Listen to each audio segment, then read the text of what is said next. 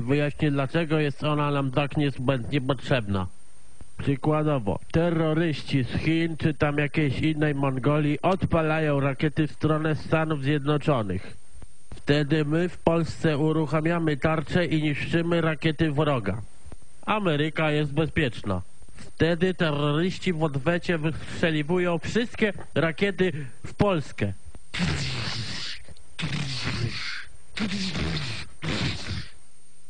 Ameryka jest bezpieczna. Dziękuję za uwagę.